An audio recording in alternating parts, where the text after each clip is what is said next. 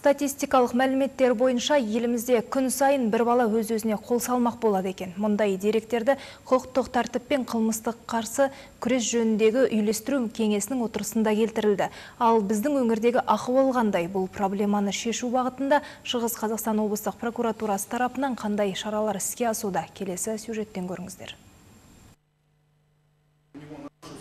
Ұйқысы бұзылып өмірге деген қызығушылығы жоғалды. Өмір сүргім келмейді дегенде жиі айтатын болды. Осыны мектеп психологы білсе де көңіл аудармады. Яғни балаға өз уақытында тиісті көмек көрсетілмеді. Бұл өмірлік қиын жағдайға тап болған баланың өзін өзі алып шығу шамасы жетпей қалғанын көрсететін мыңдаған мысалдың біреуі ғана. Өңірлік прокуратура жиынында сөз болғандай өткен жыл қорытындысы бойынша қазақстанда кәмелетке толмағандардың арасында өз өзіне қол салу жағдайлары жиілеген.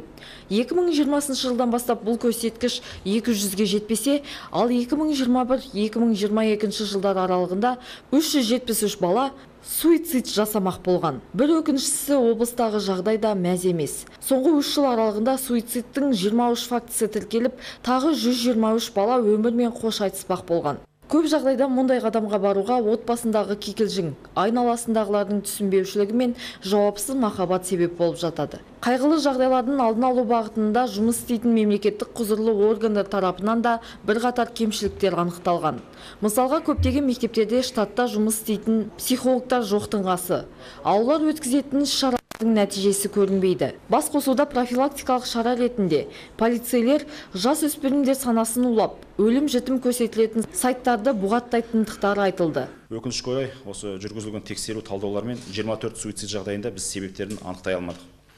Уәкілетті органдарға осы жүргізілген шаралар аясында психологиялық қызметтердің өзара іс қимылын күшейту және олардың тиімділігін арттыру балалардың суицидін насихаттау жөніндегі интернет сайттарды бұғаттау жөнінде нақты ұсынымдар берілді.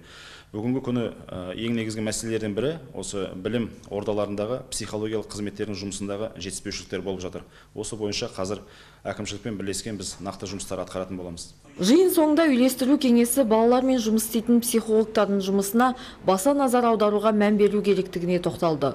Бұл үшін мектептердің барлығы психологиялық кабинеттермен жабдықталуы қажет.